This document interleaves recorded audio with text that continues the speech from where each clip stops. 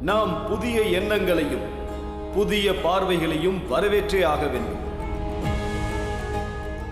வெறும் பேனா முனையினால் மட்டும் புதிய லட்சியங்களை நாம் அடைந்துவிட முடியாது. அதற்கு இந்த சமூகமும் தொடர்ந்து பரிசோதனை முயற்சியில் இறங்கியாக வேண்டும். அப்பா இழந்துட்டார்னா பெரிய பிரச்சனை ஆயிடும். ஒன்று பண்ணலாம். பேசாம பின்பக்கமாக போயிடலாம்.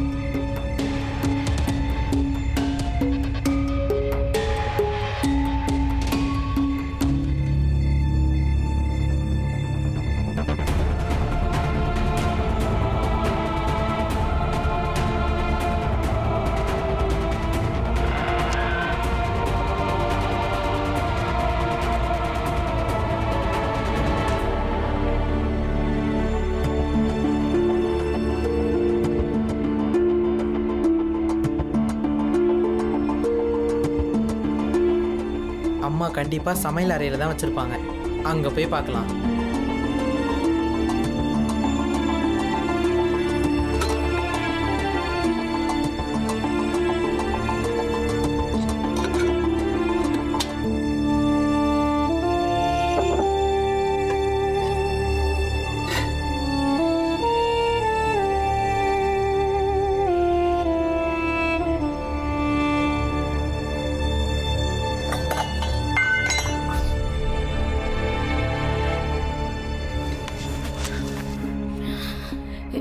பாரு. பூனையா இருக்கும் தூங்குமா? கதவை யாரு திறந்து வச்சிருக்கா? கங்கா கொஞ்சம் கதவை சாத்து.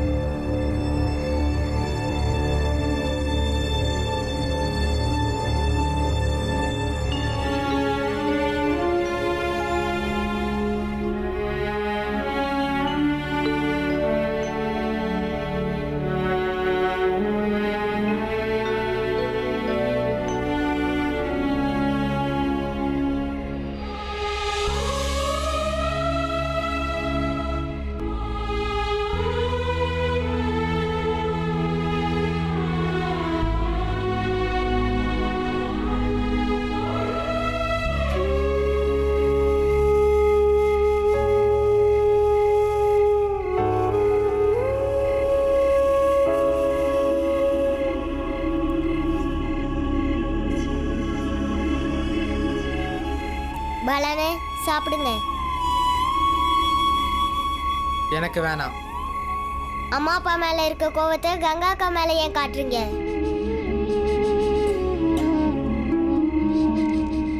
வாங்க உட்காந்து சாப்பிடுங்க.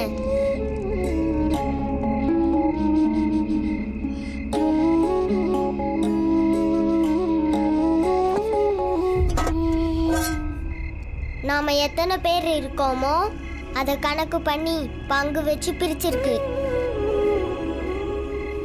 இது ஏன் பங்குல இருந்து? இது ஆனந்த் அண்ணன் பங்குல இருந்து. இது மஞ்சுளா அக்கா பங்குல இருந்து. அப்புறம் இது துளசி அக்காவோட பங்குல இருந்து. இது அத்தையோட பங்குல இருந்து. அப்புறம் இது அம்மாவோட பங்குல இருந்து. அப்புறம் இது அப்பாவோட பங்குல இருந்து. எப்படி இருக்கு? இனிப்பா இருக்கு நல்லா இருக்கு. நம்ம அப்பாவும் அப்படித்தான்.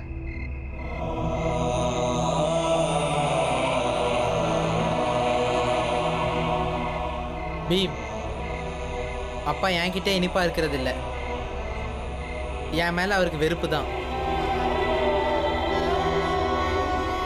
அவர் எனக்கு பிடிச்சதை எப்பவுமே பண்ண விடுறதில்ல.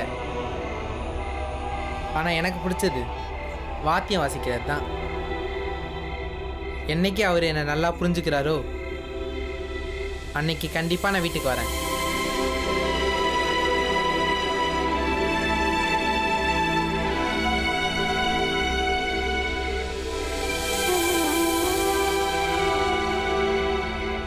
என் மற்ற பசங்களை நினச்சா எனக்கு பெருமையாக இருக்குது பாலா மட்டும்தான் இப்படி நடந்துக்கிறான்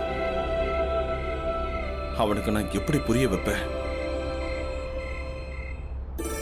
My name is Bhima Rao Ramji Ambavadekar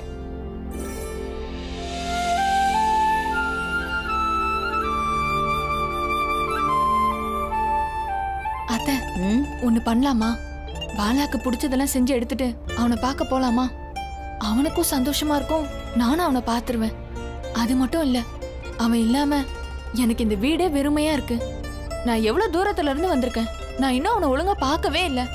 அவன் கூட உட்காந்து சரியா பேச கூட இல்ல. சரியா சொன்ன கங்கா. நம்ம வீட்டு பிள்ளைங்கள்லயே சாப்பாட்டு பிரியம் பாலாதான் நீ சொன்னா அவன் நிச்சயம் கேட்பான் போலாமா? ம். அவன்கிட்ட பேசி புரிய வைக்கலாம். ஒருவேளை புரிஞ்சுக்கிட்டானா? ஆனா ஒண்ணு உங்க அப்பாவுக்கு தெரியக்கூடாது. தெரிஞ்சா கோவப்படுவான். அப்புறம் நம்மள போகவும் விட மாட்டான். ராத்திரி எல்லாத்தையும் சாப்பிட்டீங்களா? என்கிட்ட யாருமே கேட்கவே இல்லையே. இது நல்லா இல்ல. இங்க பாருங்க. ராத்திரி எழுந்து யார் உருண்டைய சாப்பிட்டது? ஆ? அதுல எங்க பங்கும் இருக்கு? ஆமாண்ணே அதுல ஏன் பங்கும் இருக்கு? என்ன? நீங்க மூணு பேரும் சாப்பிடலன்னா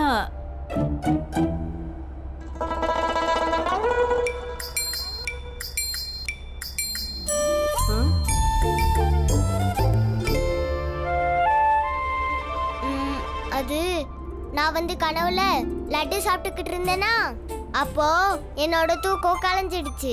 அப்பா அடிக்கடி என்ன சொல்லுவாரு? கனவை நினைவாக்க முயற்சி பண்ணணும்னு சொல்லுவார்ல அதனால என்ன பண்ணேன் எல்லா உருண்டையும் சாப்பிட்டேன். வயிறு நிறைஞ்சதும் பார்த்தேனா? ஒரு உருண்டை கூட மிச்சமே இல்லை.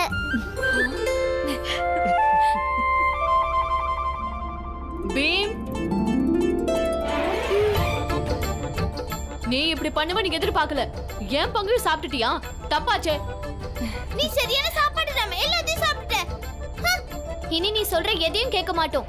இவனை பாருங்கப்பா. பீம் இர்ரா உனக்கு என்ன பண்றேன்னு பாரு. பீம் நில்லு. நில்லு போடாத நில்லு. பீமா? இப்படி எல்லாம் பண்ண மாட்டானே. அவன் பொய் சொல்றான். பீமாவா? நல்ல விஷயத்துக்கு பொய் சொல்றது தப்பு இல்லைன்னு அவனுக்கு தெரியும். எனக்கு புரியலங்க. பாலா வந்திருந்தான்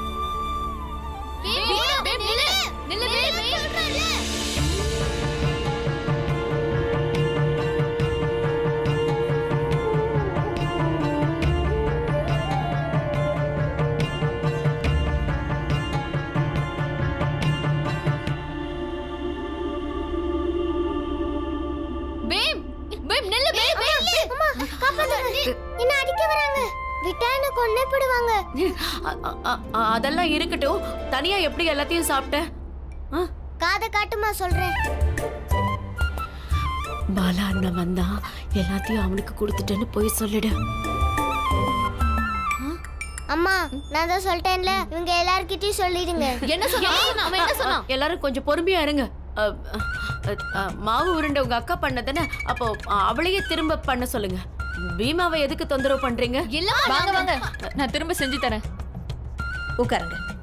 எனக்கு நூறு. எனக்கு இருநூறு. எனக்கு முன்னூறு. எனக்கு ரெண்டாயிரம். அப்படின்னா என் பாலாவுக்காக ஐயாயிரம்.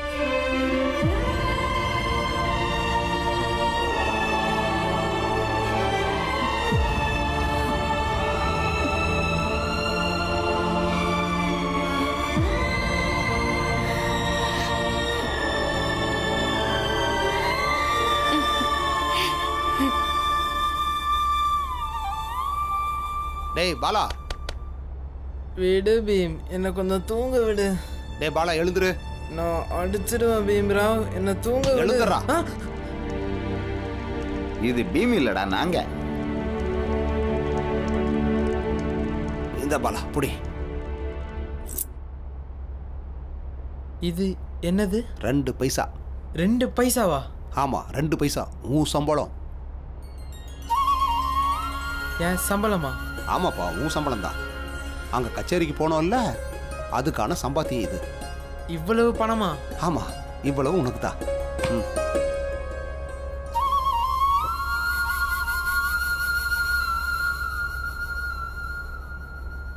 இதில் ஒரு பைசாவ பீமுக்கும் ஆனந்துக்கும் பள்ளிக்கூடத்துல கட்டிடலாம். மிச்சம் ஒரு பைசாவில் அவங்களுக்கு சாப்பிட ஏதாவது வாங்கி கொடுக்கலாம். நீ தான் நல்லா வாசிக்கிறியே. உனக்கு இவ்வளவு பணம் கொடுத்துதானே ஆகணும் ரெண்டு பைசா என்ன? ஒரே நாள்ல இருநூறு ரூபாய் நீ சம்பாதிக்க ஆரம்பிச்சிருவ. ஏய் ஏய் பாலா. பாலா இது உன்னோட முதல் சம்பளம். கொண்டாடியே ஆகணும். வா எல்லாரும் சேர்ந்து கொண்டாடலாம். ஆமா பாலா இன்னைக்கு முதல் சம்பளம் வாங்கியிருக்கான்ல. கண்டிப்பா கொண்டாடி ஆகணும். சாப்பிட்டு அடிச்சு காலி பண்றோம்.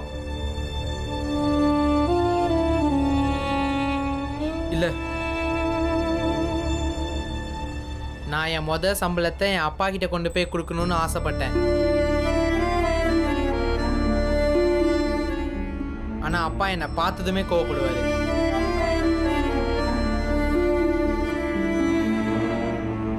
நான் இந்த பைசாவை பீமா கொடுப்பேன்.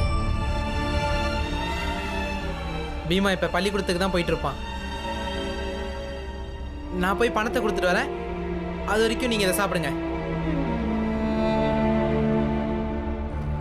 முட்டாள் பாலா. விடு விடு. அவனுக்கும் மகிழ்ச்சி. நமக்கும் மகிழ்ச்சி. பணக்கார சேட்டையாவுக்கும் மகிழ்ச்சி. வாங்க சாப்பிடலாம். ம். ஏமா உன் வீட்டுக்காரர் ஏன் கூட வரல? அந்த அளவுக்கு வேலையா என்ன? ஆமா அவருக்கு கொஞ்சம் வேலை இருக்கு. கொஞ்சம் வேலையை ஒதுக்கி வச்சுட்டு வந்திருக்கலாம்ல. எல்லாருக்கும் சந்தோஷமா இருந்திருக்கும். அவரையும் பார்த்து எவ்வளவு நாளாச்சு? ஆ, அத்தை மிளகா வெளியில இருக்குன்னு நினைக்கிறேன். நான் எடுத்துட்டு வரேன். சரிம்மா.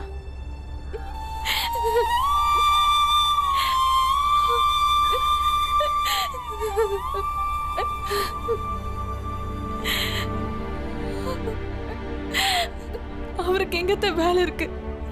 அவருக்கு வேலை போனதுல இருந்து அவர் தினம் தினம் வேலையை தேடிட்டு தான் இருக்காரு. எவ்வளவோ நாள் ஆயிடுச்சு அவர் என் கூட பேசுறது கூட இல்ல. நானே வழிய பேச போனாலும் என்னை திட்டி விட்டுடுறாரு வீட்டுக்கு என் கூட வாங்கன்னு நான் எவ்வளவோ தூரம் சொன்னேன். ஆனா அவர் வரலையே. என் பிறந்த வீட்டுக்கு என் புருஷனோட வரணும்னு எனக்கும் ஆசை இருக்காதா?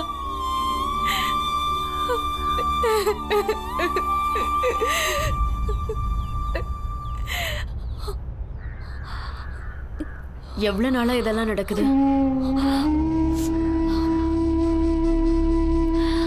எது எவ்வளவு நல்லா நடக்குதுமா?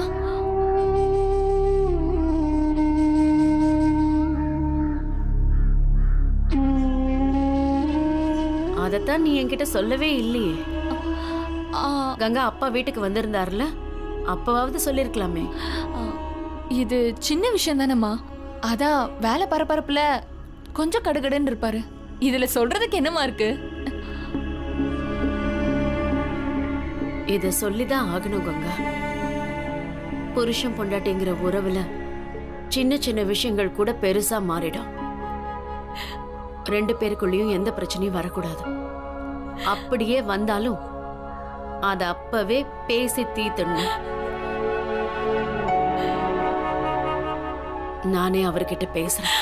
வேண்டாம்மா. நீங்க எதுவும் பேச வேண்டாம். நீங்க அவர்கிட்ட பேசினா நான் அவரை பத்தி குறை சொல்ல இங்க வந்ததா நினைச்சுப்பாரு. இன்னும் மாமா மிளகா எடுத்துக்கிட்டு வர? வந்துட்டேன். பாலாவுக்கு சமைச்சு எடுத்துட்டு போகணுமா? வந்துட்டேன் அத்தை.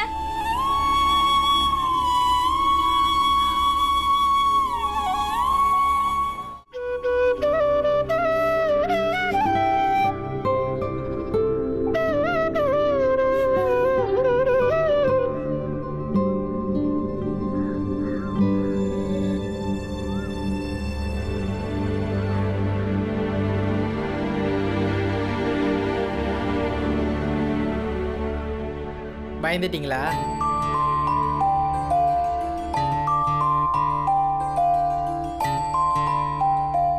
அடிக்கிறதா இருந்தா அடிச்சுக்கோங்க. ஒன்றும் பிரச்சனை இல்லை. ஆனந்த் அண்ணே எதுக்கு கத்துறீங்க? நீங்க எப்போ சண்டை போடுறதுக்கே தயாரா இருங்க.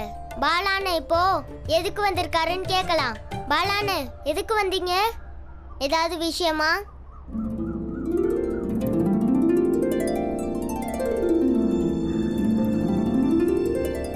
இந்த இந்த பணம் எங்க இருந்து வந்துச்சு பாலானா?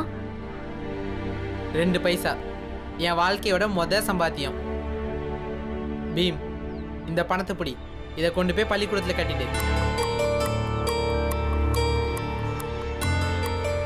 அம்மா அப்பா இந்த பணத்தை வாங்க மாட்டாங்க. அதனால தான் உன்கிட்ட தரேன். வேண்டாம் பீம். நாம இந்த பணத்தை வாங்கினா அப்பாவுக்கு பிடிக்காது. நமக்கு இந்த பணம் தேவையில்லை. உங்க சம்பளம் எதுவும் எங்களுக்கு வேண்டாம். வா பீம். பீம். பீம் உனக்கு வாழ்க்கையில் எப்போ பணம் தேவைப்பட்டாலும் என்கிட்ட கேளு. சரியா? சரி பாலானு வேற ஏதாவது சொல்லுமா? மாவு உருண்டை நல்லா இருந்துச்சு. ம். அப்படின்னா ராத்திரி நீங்க வந்து தான் எல்லாத்தையும் சாப்பிட்டீங்களா?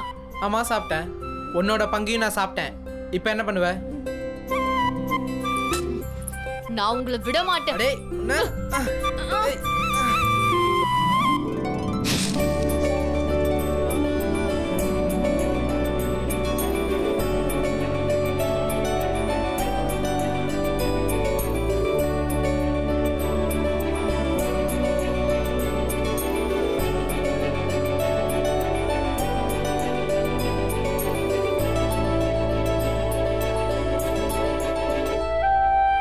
அடே வீட்டுக்கு வந்துருங்கண்ணே.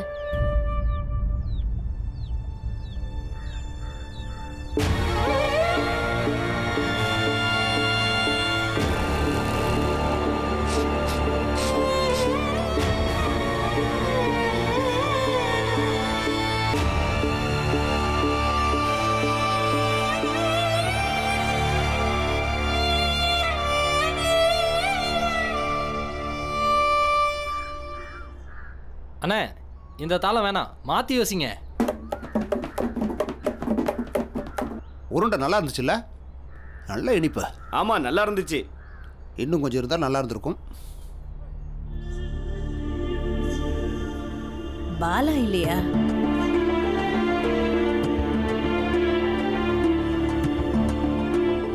ஏன் எதுவும் பேச மாட்டேங்கிறீங்க? பாலா எங்க? அத்தை? பாலா? பாலா? பாலா?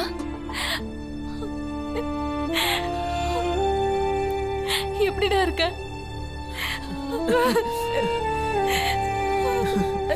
நான் நல்லா இருக்கேன்க்கா.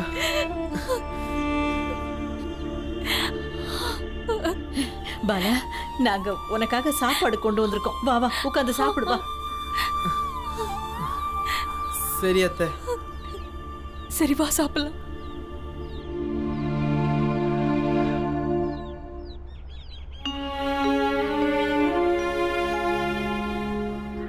ரொம்ப பசிக்குது இல்ல வாப்பா வந்து சாப்பிடு வா. இதையெல்லாம் பார்த்தாருன்னா அப்பா ரொம்ப கோவப்படுவாரு.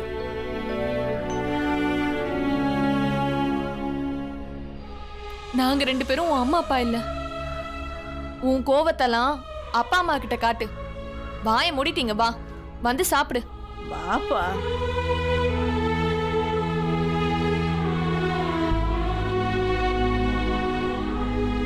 உட்காரு.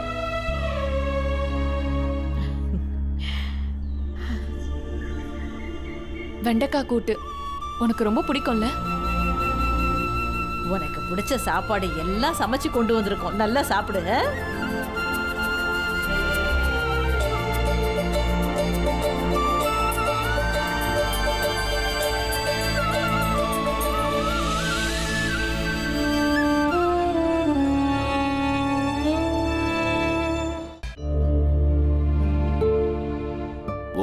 நாட்டுக்கும் ஒவ்வொரு வரலாறு இருக்கு. நம்ம நாட்டுக்கும் உண்டு. இந்த பணம். என் வாழ்க்கையோட முத சம்பளம். பீம் இந்த பணத்தை எடுத்துக்கோ. போய் பள்ளிக்கூடத்தில் கட்டிடு. பாலான்னு எனக்கு ஒரே திருவிழால பாத்திய வாசிச்சதுக்கு எப்படி இவ்ளோ பணம் கிடைச்சது? எல்லா மாணவர்களும் அவங்க நாட்டோட வரலாறை கண்டிப்பா தெரிஞ்சே ஆகணும். சொன்னது புரிஞ்சுதா? புரிஞ்சுது ஐயா. சரி சொல்லுங்க. ஈஸ்ட் இந்தியா கம்பெனி பாரத நாட்டுக்கு எப்போ வந்துச்சு? ஐயா ஒரு தடவை கச்சேரிக்கு போனா எவ்வளவு பணம் கிடைக்கும்? கச்சேரிய பத்தி கேக்குறான். மூத்த அண்ணன் வாத்தியம் வாசிக்க போயிட்டான். சின்ன தம்பி என்னடானா பணத்தை பத்தி பேசுறான். போ போ கிளம்பி போ. மொத்த குடும்பமும் போங்க. ஐயா இந்த வகுப்புலயே இவன் தான் ரொம்ப கவனமா படிப்பான்னு சொல்வீங்க? அவன் கவனம் எங்க இருக்குன்னு பாருங்க. வாத்தியத்துல இருக்கு. சரி சரி பசங்களா அமைதியா இருங்க அமைதியா இருங்க. பீம் என் கூட வெளியே வா.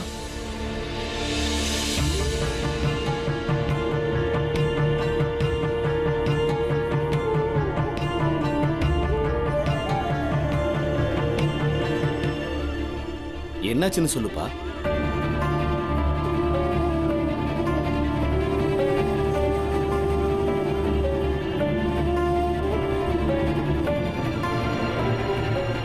உனக்கு வாத்தியம் வாசிக்கணுங்கிற ஆசை இல்லைன்னா வீட்டுக்குள்ள வா.